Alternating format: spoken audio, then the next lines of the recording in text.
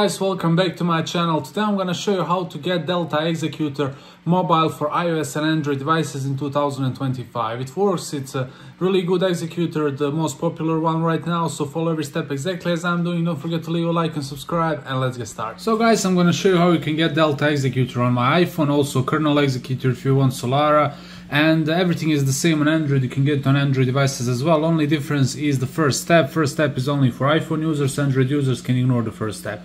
If you're using an iPhone device, open your settings application, then head to the general then background app refresh, open it, and if this option is off, switch it to Wi-Fi or Wi-Fi and cellular data.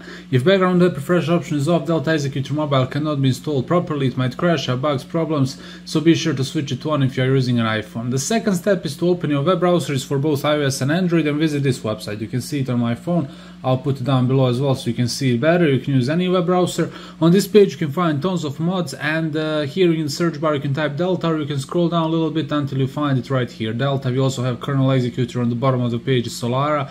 Press on it, it's gonna load and says Delta executor for iOS and Android, no jailbreak or root needed. You don't have to jailbreak or root your device. It has tons of downloads, almost perfect rating.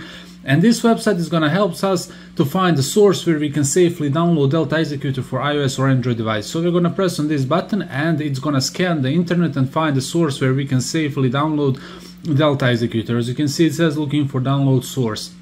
Uh, it's always updated every hour so we always have source found. We always have the newest updated link the safest link to download delta executor. So let's wait a little bit. Here it says app name might be different to hide it from company patches so it doesn't get patched. The app uh, name is usually different so uh, here it is. This is the website where you can download it. It's called vipmod.app. It's called different because uh, we have to hide it from the company patchers so they don't uh, patch the, the mod. So as you can see here is the file size and you can get all other information right here. And to install it, just press on this uh, red button, follow all steps carefully and you will get Delta Executor on your iOS or Android device in 2025. So guys, if you tried this, let me know in the comments how it went. Comment down below if you have any questions. Don't forget to leave a like and subscribe and I'll see you guys in the next one. Thanks for watching and goodbye.